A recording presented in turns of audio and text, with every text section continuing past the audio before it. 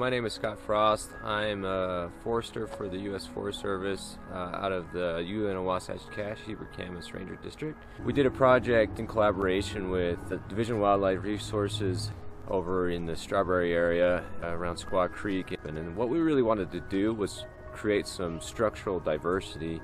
Aspen in that area is all the same age and the same height, and so we cut around 91 acres in different groups the second part of what we wanted to do was to test the timber market and see if there was actually anyone that would buy the aspen.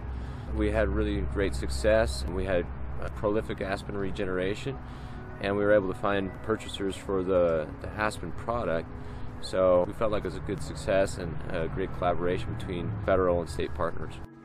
So I'm here in Strawberry Ridge where we've done an aspen regeneration project. Basically we've come in and thinned out uh, thick stands of old growth aspen to allow for these young aspen that you can see all around me.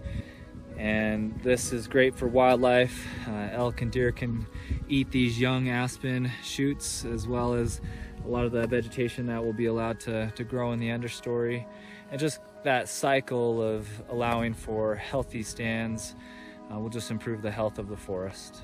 So I just want to speak a little bit briefly to collaboration. Division of Wildlife Resources and the Forest Service work really closely through WRI and shared stewardship. That infrastructure allows us as land managers to look at the big picture and think about what really matters in terms of the health of our ecosystems and what we can do to improve our circumstances.